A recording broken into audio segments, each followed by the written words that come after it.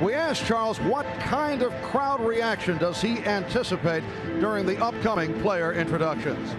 I think if, they're nice to me, that's great.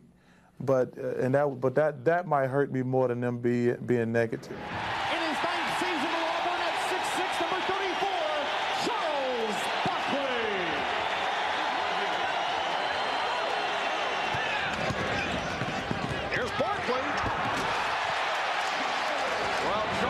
Charles Suns have hit the last six from the field. Barkley for three.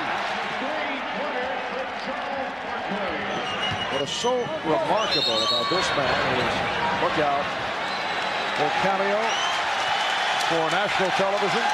Well received by Charles. Jackpot in Atlantic City. Charles Barkley again. Standing ovation. Class act by the Suns and Paul Westphal.